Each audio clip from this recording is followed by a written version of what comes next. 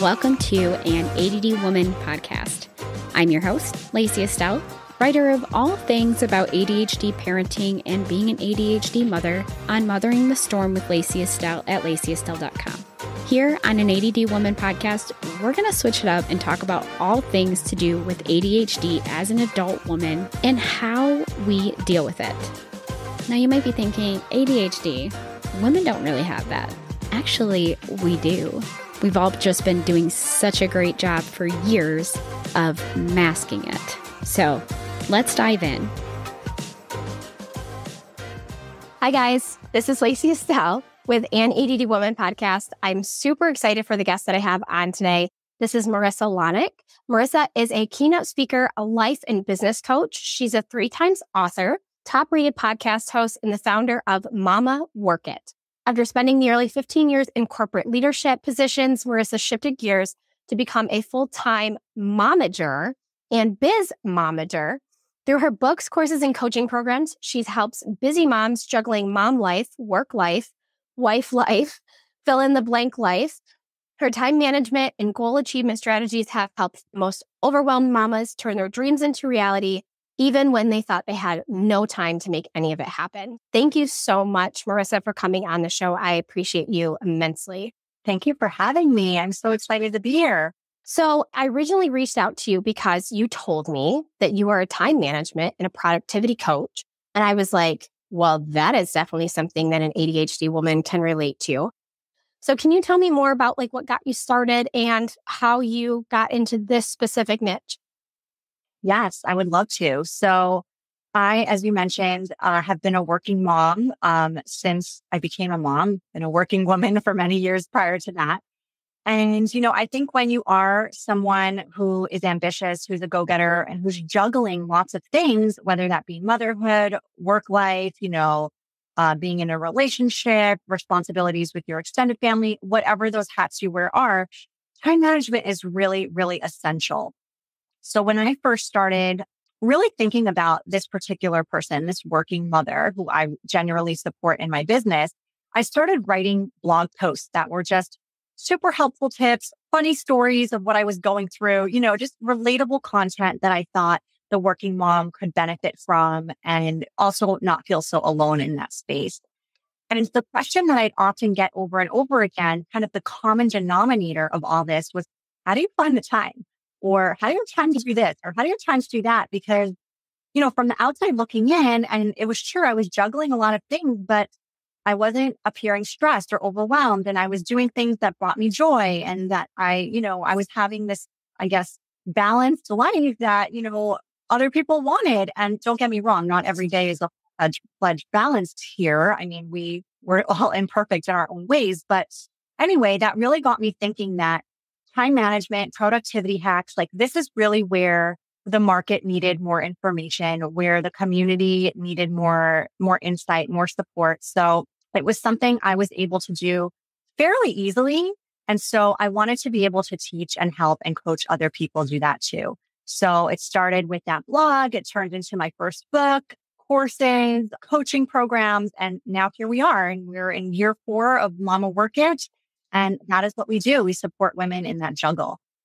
That's awesome. Um, and it's so great to hear that you saw a need and that you just were like, you know what, I'm just, I, I can answer this. This is something that evidently I didn't realize was kind of a gift. You know, like I, I've talked to people before that have skills and they're like, sometimes they have these natural skills and they're just like, I just assumed everybody had that, but not everybody does. And I definitely think, and, and I know we talked a little bit before this interview, but I am going to elaborate here. So, one thing that ADHD women we really struggle with, and I'd be willing to bet some of those women that reached out to you that read your blog and were like, how do you do it? How are you juggling it all? How are you doing? And how are you doing it and, and enjoying it? I'm sure that some of those women probably also struggle with ADHD like I do. And one of the things we struggle with a lot is time blindness and also just our productivity in general, because one thing that our brains aren't very naturally inclined to do is to sequence tasks. So, like, you know, for me, if I sit down and I'm like, okay, I say I'm going to write a blog post because I did, I also started writing blogs. That's how I started. I might sit down and I'd be like, well, I don't even know what I want to write about. I gotta, I gotta figure that out too. And that just seems super overwhelming. And because my brain thinks of everything in the the now and the not now. It doesn't really think of like, okay, well, if I do this, this will take a couple minutes and this will take a couple minutes and this will take a couple minutes. And that's where the time blindness comes in, where we we don't feel time moving. So we don't always recognize how long a task actually is going to take us. So instead, we have to use certain things. So I want to ask you too, because I know you told me too that you never specifically worked with neurodivergent women, but I'm sure that if, in thinking of, you know, these types of scenarios, what would you say to a woman who says, you know, sometimes I just, I don't even realize how long something's going to take me, or, you know, I don't know how to just get through my day and actually feel like I'm at the, like at the end of it that I actually accomplished anything. Because those are two big emotions that I think ADHD women struggle with a lot. And I think it comes back to these, these specific challenges. Yeah. Yeah. Those are great questions and definitely ones I hear a lot from gen, you know, general people that I work with. And I would say first things first is, you know, we all need support sometimes in all different areas of life. Like even though I consider myself an expert in time management and productivity, that doesn't mean that every day I'm super motivated and excited. It doesn't mean that every day I get everything done on my list that I said I was going to do. You know, there are definitely weaknesses, or I wouldn't even call them weaknesses. There are just areas in my life where I would say, I know what's going to serve me better in this particular area is to either delegate this out or get a support system so that I don't have to keep it all, like keep all the mental load here for me and put all of that pressure on myself. So I think just first and foremost, recognizing that when you need support, because we all do, it's not abnormal. It's not weird. It doesn't make you any less of a person. So just recognizing what that means to you. If that is a visual cue that's going to help you with that, you know, recognition of time passing or how long you want to dedicate to a task or whatever it is, awesome. Go on Amazon, grab yourself some visual cue that's going to be cute in your office or in your kitchen, wherever you want to keep it. And, you know, get into the habit of checking that. If it's, you know, leaning on a system, which I think everybody should utilize some sort of system when it comes to their productivity and time management, whether that be an electronic calendar, a whiteboard, a wall hanging calendar, a planner, a paper planner. Like I don't have a preference because everyone's lifestyles are different, but some sort of system is essential and you do need to lean on that in order to, to move forward successfully. The second part of that, I will say that is essential here. The clarity is really key. You know, when we're sort of foggy in what our goals are, and when I say goals, I mean even small things we want to get done on a daily basis on our to-do list, not necessarily like humongous annual goals or five year goals or things like that.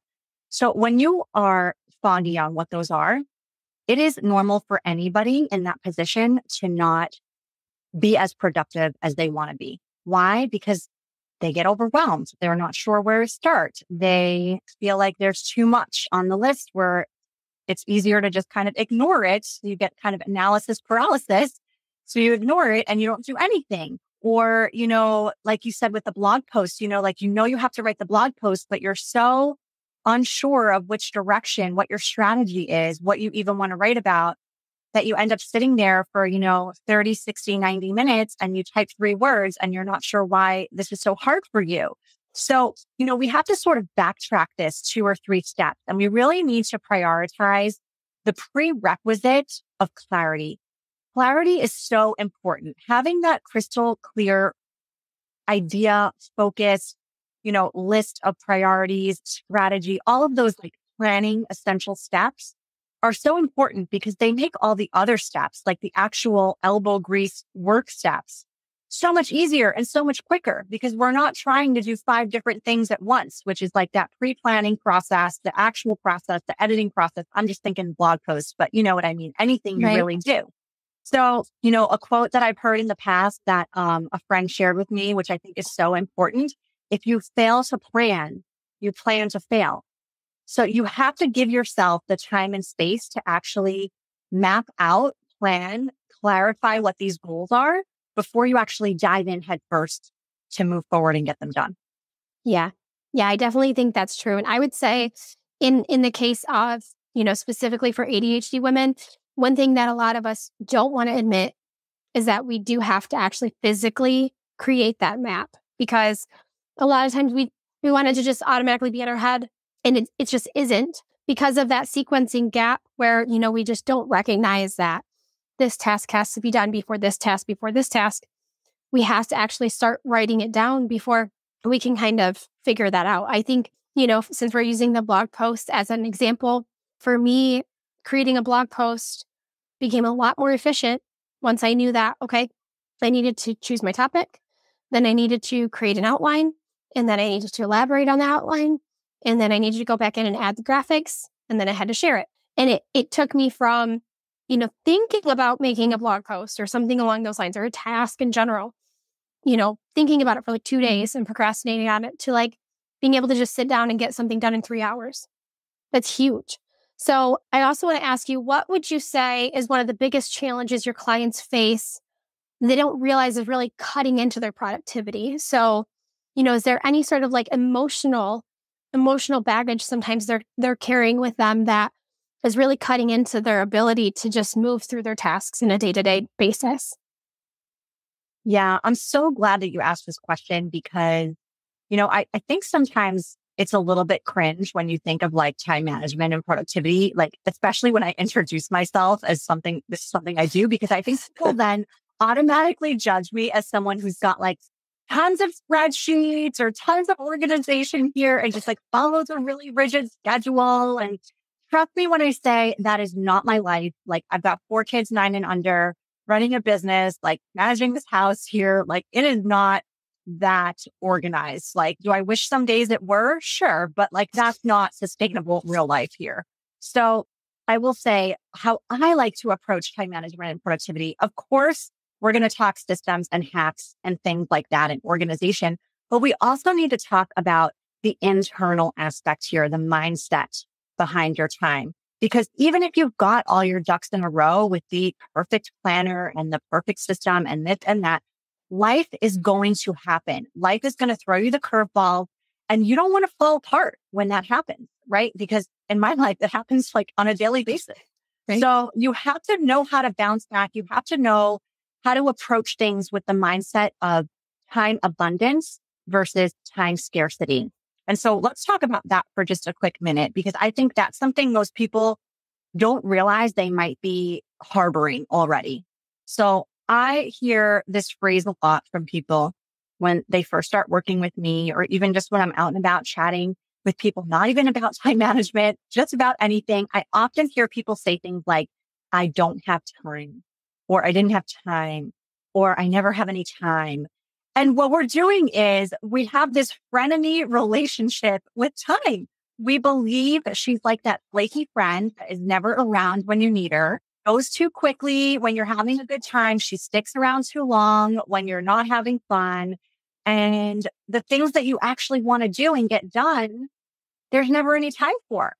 And what happens is the more we speak these words aloud, the more we believe them. And the more we believe them, the more our actions follow.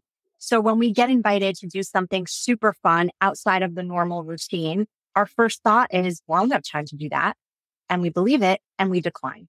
Or when we think about, we get this dreamy goal of, you know, starting our business or, you know, gosh, I don't know, like DIYing our home or something like that. And then the first thought that comes is, who has time for that? Right. And we believe it and we put it on the back burner and we keep giving ourselves the excuse of time getting in the way. We need to switch that more to a time abundance relationship. We need to make time more of our BFF over our frenemy. And one really simple way you can do this is when you catch yourself saying those words, I don't have time, you're going to flip the script. So you're going to stop saying, I don't have time. And you're going to start replacing that phrase with, it's not a priority to me. And magical things happen. I'm telling you, when you make this simple word shift in your regular vocabulary. So let's take the example of, you know, wanting to have this dreamy goal of like starting, starting a business, right? If you keep telling yourself you don't have time to start a business, you won't. If you flip the script here and you say starting a business isn't a priority to me right now, well, one of two things is going to happen. And in my opinion, they are both a win here. Okay. So on, on one hand, if you say it out loud, starting a business isn't a priority to me. You might feel like, well, you know what? It's not. It's not a priority to me right now. So why do I feel guilty about it? Why is this taking up precious time and energy and space when I could be focusing on other things that are indeed a priority to me right now? So I'm going to stop shitting on myself and I'm going to start living my best life. That's a win to me. On the other hand, if you're saying this out loud and it doesn't feel good, it feels almost like you're lying, right? Starting a business isn't a priority to me. Ouch. That doesn't feel aligned. That feels kind of gross. Well, what's going to happen is you're going to make it a priority. You're going to find ways to fit in little steps every day to get one step closer to that goal of starting that business. You are going to find ways to make it happen. Trust me, it's not the time, it's you. I would totally, I, I completely agree with you. And I think words are so powerful because something I, I try to always tell my mom, she struggled with yo yo weight loss. And I, I feel like any sort of, you know, goal like that that you have, it, it really comes down to what is it that you're telling yourself about it that is keeping you from being able to achieve it.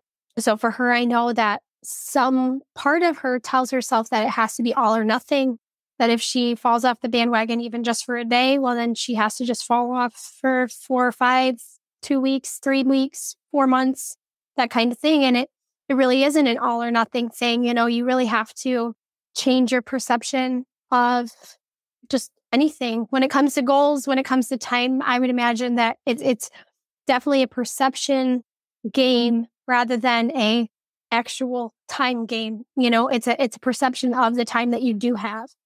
So I love your answer. I think that's so good. And I, I think it's really hard too to actually get somebody to to say it's not a priority to me right now because we don't want to say that. we don't want to admit that half the time. But sometimes it really isn't. And and I think you also have to get to a point to where that can be okay.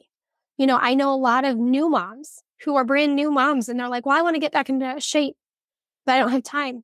And I would say, to them, it's not a priority to you right now, but that's okay because you have a new baby. the priority to you right now is learning how to function now that you have this small, helpless person that's completely you know, reliant on you and your husband or you know your support system in general to live and that that takes up a lot of your headspace and so it's okay if you know exercising and getting back into your size five jeans is not a priority to you right now. That's, ex- you know, it's acceptable. It's normal. So yeah, the words right now. And I think that's so important to hear because we go through different seasons. We change seasons, not just, you know, every four months or whatever it is, or three months.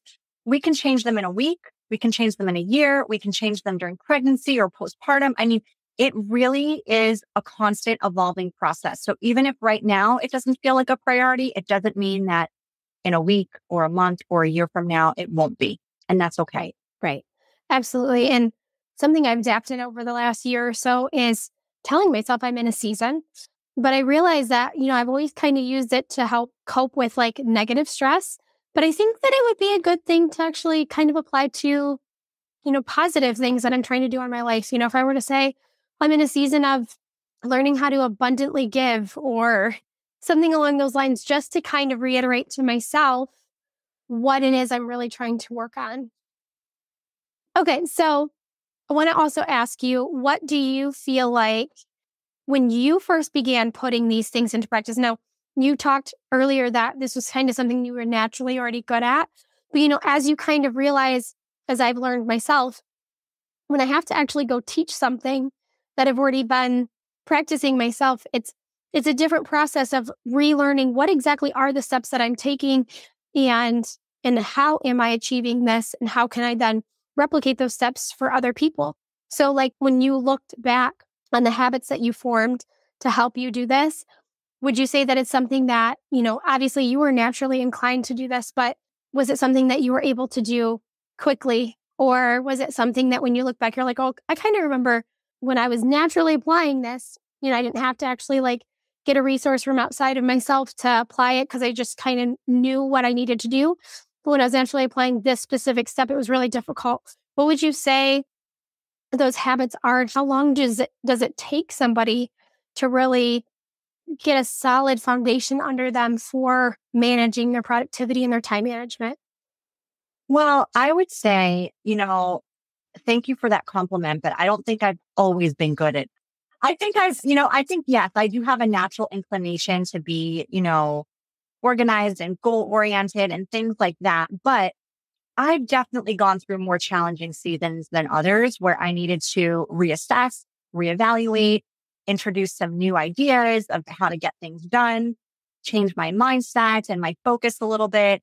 And I feel like I'm always evolving, really. I mean, I think any transition in life, whether that be adding to your family, whether that be changing careers or jobs, whether that be moving, you know, whether that just be a new year, you know, we're coming up on the new year and that's always a, a solid time to sort of transition into some new habits and new, new ways of managing things effectively. You know, it's an opportunity to kind of revamp and relook at things. So I think it's been an ever evolving process for me and it will continue to be. As far as habit formation, I'm going to share with you some things that I've learned along the way that I think are, are really helpful and um, have helped me and, and a lot of my clients. Number one, you know, it's scientifically proven it takes 21 days to form a new habit. So most of us, myself included, trust me, you know, we, we get super motivated and excited that first few days of that new habit. And then, you know, day five, day six, day seven, day eight, we maybe fall off the bandwagon and we don't give ourselves like the grace and the slack to just get right back on and keep going. We think, oh, okay, well, that habit didn't work. Okay, on to the next idea of like quick fix of what to do here. And that's not really giving yourself enough of a chance, right? That's not giving yourself enough of a length of time, um, of, of enough of an opportunity to really take that on. The other mistake a lot of people make when it comes to habits is they try to take on too much too quickly. So they think, okay, January 1st, here are all the things I want to do, or like Monday or the start of the month or whatever it is. And you pack on all these goals and there's nothing wrong with being super ambitious. I'm a very ambitious person, but we have to understand that too much too quickly is not sustainable. It's like, it's like crash dieting, right? It's like you try and go from being like a regular person who's maybe, you know, having lattes every day and maybe eating gluten and meat and all these, you know, like normal things people eat and then going to become like a vegan the next day without caffeine, like that's really challenging. Your body's going to withdraw. Like it's going to be too much change too quick, right? Not to say you can't get there, but smaller steps are probably more sustainable along the way. So I love to tell people to start with one tiny habit and I got the tiny habit uh, expression and idea from a habit expert out there. His name is BJ Fogg. He's a professor at Stanford. He wrote a book, Tiny Habits. Uh, he's got a TED talk. Totally check him out. And he talks about introducing a tiny, tiny habit into your day. And then you will notice that as you get consistent about this habit, you will naturally push yourself to do more and do more and do more. And his funny example that he sort of did on himself, his experiment was he wanted to get fit. And so, you know, he didn't tell himself, tomorrow I'm hitting the gym an hour a day every day. He gave himself a tiny habit. And the tiny habit was he tacked it on to something he was already doing, by the way. This is also part of the tiny habit process. He said, every time I use the bathroom, I'm going to get down on the ground and I'm going to do two push ups. That was his tiny habit. Okay. So you can imagine, you know, from the get go, he was probably doing 10, 10 ish push ups a day, right? Depending how much water he drank. And then as time went on, he was, the two push ups got super easy. And he was like, I'm going to challenge myself. I'm going to do three. I'm going to do four. I'm going to do five. I'm going to do 10.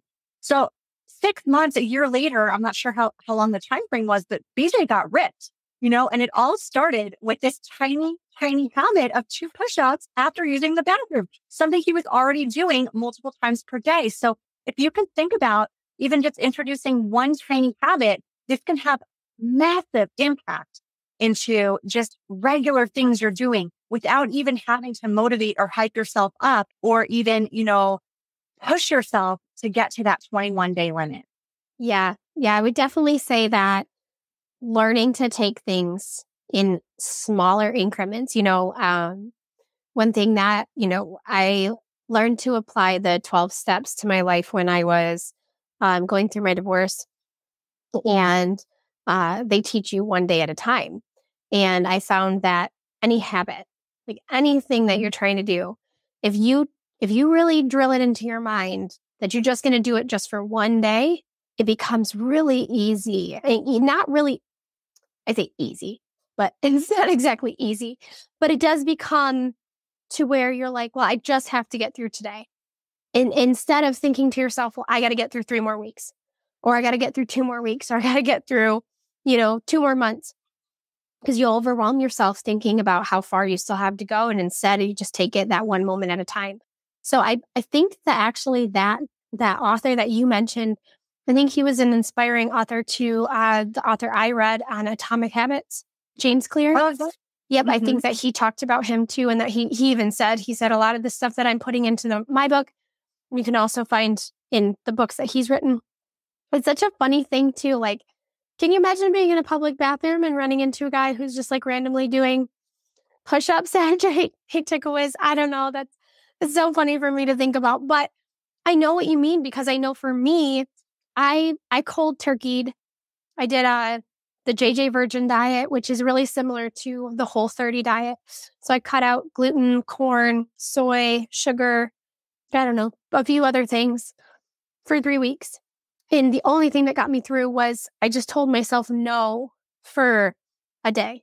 And like that's what it would be. Like that's what I kept telling myself. I was like, if I just tell myself no today, I can get I can get to tomorrow morning. And then I just have to tell myself no again. And eventually, by doing those things, you build momentum into these small habits that you have and you and you build that momentum that you need to continue pushing you towards that goal.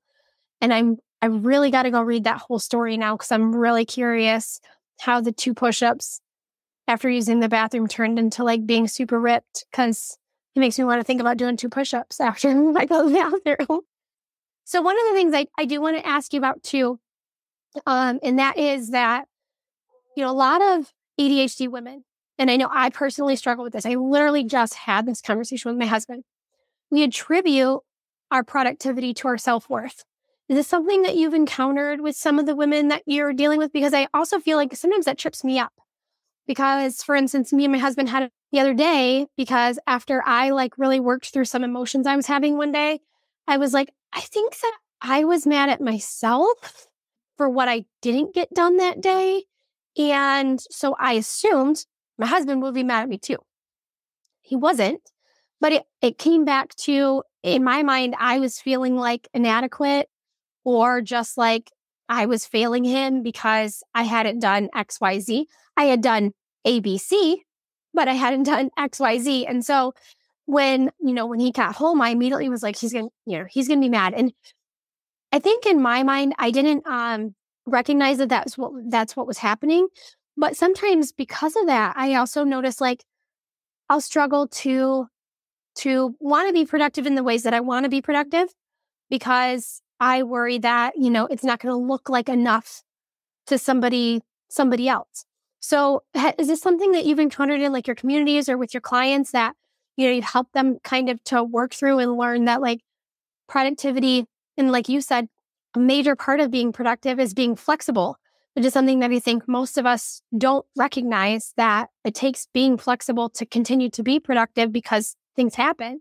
But in helping them to I guess, kind of like bridge that gap and and uh, not relate so much to that, so that when they have a day, they have to be super flexible. They're not like, ah, I'm worthless. Yeah, no, completely. I think many of my clients have experienced this. I know I've experienced this. And I even developed a quiz in my programs that is like, how worthy am I? Uh, because I think a lot of women in particular, especially moms, you know, we struggle with the worthiness factor in asking for support and receiving support. We think we have to do it all. We think we have to juggle it all. We think we have to, you know, hit all of these societal standards. We think the highlight reels are real. They're not. And, you know, I think worthiness is a big factor there, right? It's, it's what will often affect our ability to confidently ask for and receive support. So I think it manifests and shows up in many different ways. Uh, the thing that I want to stress here is the expectations we're setting on ourselves. So most people out there are setting unreasonable expectations, right? They are putting together massive to-do lists. They are, you know, saying yes to too many things. They are, you know, they're thinking they have to live up to those societal standards. And then at the end of the day, even if they've done nine out of 10 things, all they can focus on is the one thing they didn't get done. Yeah. And by the way, nine things is a lot of things. Like I don't recommend it. So what I like to say is we need to really get to a place where our expectations are more reasonable. They're more reasonable so that we can sort of eh, practically and, impractically practically saying like we can give ourselves that quote permission to be done and not feel like there's always more to do, even though there may always be more to do. But for that day, these are the things that I expected and set out for myself to do. So there's like accountability there, but there's also, you know, the ability to like shut it down, right? And not let guilt creep in and, right. and make us want to be like energizer bunnies all day long because rest is equally as important and productive as work. So yeah, I like to tell people get yourself, set yourself three small goals a day. Doesn't matter like what they're related to. Like they can be, you know, all related to work. They can be mm-hmm. a combination of things. I personally would encourage you to make sure at least one of those things is something for yourself, you know, whether that be exercise, whether that be a meditation or, you know, fill in the blank, whatever it is, right? But three small goals a day that you will absolutely hold yourself accountable for, like you will get done. So you will feel productive but you also after that can give yourself permission to be done, even though you may have other things on the back burner. And hey, some days you will feel motivated and like an overachiever and you may tackle more and other days you may not. And you are allowed to be done after those three things. You're allowed to be done with zero things some days, but if you want sort of some sort of organizational tip, that's what I'm going to tell you. I think that that's so important. And I think I really like where you said giving yourself permission to be done because it's, it's something I was just I I'm I'm in a season of learning this of learning that you know for me you know and I I think I talked to you before but um I'm a Christian. So I've been trying really hard to you know recognize that my self-worth is in my my faith my beliefs um in God and not in what I do what I don't do. And it's it's really it's really hard it's really hard to apply those things because I feel like it's been ingrained in me. And I know that the ADHD women that I, you know, I hear from that listen, you know, they've also had um their whole life has been one um like point of success to another equal to their I say worthiness, but not even necessarily worthiness, their value, I guess. Um, because like we struggle a lot of times. I struggled through school massively. I struggled through I I didn't really get finished in college because I was struggling so much. And it was one of those things where because I couldn't do it or at least because my brain was not working in a way that would allow me to function well enough, I immediately was like I'm just I'm just lazy. I'm just you know there's it, it must be a character flaw. And so, you know, for you to say give yourself permission to to be done, that's huge. Like I talked to a friend and I've been like, I have an issue with resolution. Like I don't like when things don't feel resolved or they don't feel completed or they don't feel done. And she's like, Yeah, that's not realistic. And I'm like, I think I'm realizing that now because for a long time I it was something I always needed. I, I needed I needed things to be complete. I needed everything to come full circle. I needed all of that. And then sometimes that just doesn't happen especially does it happen if you're a work from home mom especially does it happen if you're a mom in general um, especially doesn't happen if you are you know running a business. There are days where you're going to walk away and there's a t- laundry list of tasks that still need to get done and you have to say yeah i need my rest now. Otherwise i can't i can't complete it tomorrow. Um in in giving yourself permission to do that. It is huge. And I think that that is really important. I hope that the women that listen to this podcast take that away because that's something I'm learning to do myself. And it's hard because I'll sit in my living room. My husband gets home from work and I'm like, I know that I gave myself permission to sit down finally, but is he going to give me permission? Which he doesn't, he's not even like, he doesn't even care. I'm just like in my head, like, can I, can I just be okay? Is it okay for me to just sit down and just be watching a movie or, you know, anything along those lines? So I love that. I also wanted to, you did mention um, that you have uh, some free resources that are available to my audience. Can you tell me more about them? Yes, I would love to. So I have a few things that I think would be super beneficial depending on your audience's needs. One is the time management free mini course. So this is a total of um, six mini videos. I think they're about 30 ish minutes long, maybe a little bit less, uh, over six days and really just some incredible takeaways on my time management philosophy.